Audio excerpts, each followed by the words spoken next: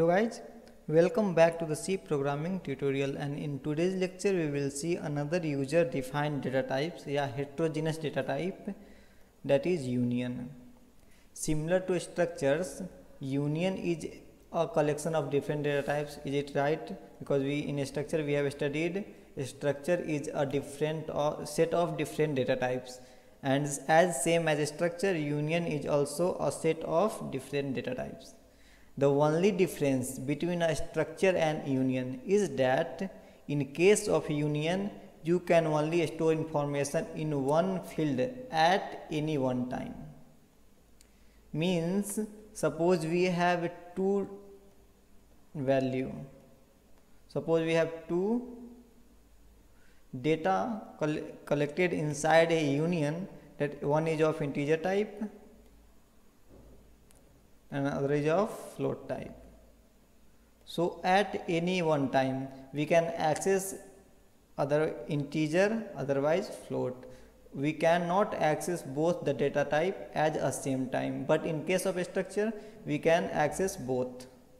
So let us uh, give, see an example in Turbo C++ where we will do a programming and use both struct and union and see what is the basic difference.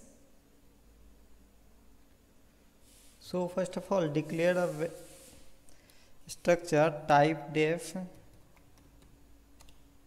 and struct point 1 and inside this remove this. And inside this we define two variable in x and y. And next thing declare another union. And uh, declaration of union and structure is same. Point 2 and only the basic difference is in storing system not in its declaration accessing method. All things are same. Now we start a main function. For point 1 sorry point 1 create a instance p1 and store value 2 and 3 and for point p2 suppose point 2 and p2 if we are doing so in point p2 then this is wrong invalid in case of union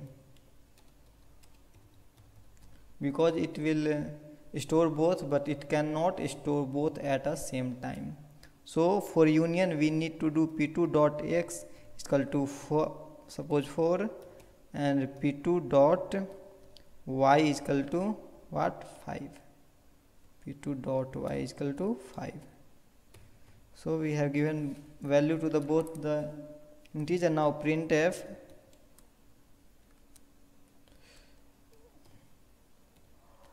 in case in structure x is equal to percent d and y is equal to percent d. Here change the line also. x equal to percent d and y is equal to percent d comma just print p1 dot x comma p1 dot y now printf in case of percent n in a union percent n here also change the line. Here we have changed the line.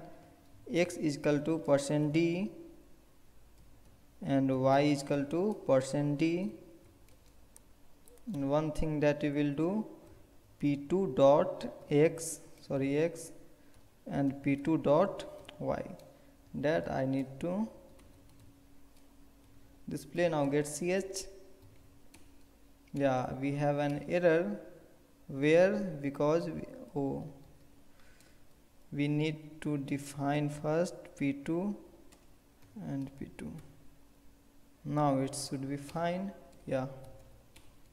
Here in case of structure x equal to 2 and y equal to 3 but in case of union x equal to 5 and y equal to 5 first clear the screen then it will look good.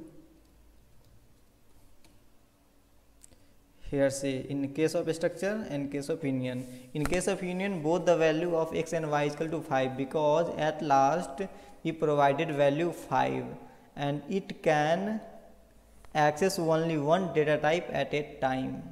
So it gives the value both the value as 5 not as 4 but in case of structure it access all the data type at a same time and this is the basic difference between a union and a structure. So, this is enough for the union and ne in next lecture we will see the most important data type that is enumerated data type. So, guys thank you for watching this video and please share and subscribe. Thank you.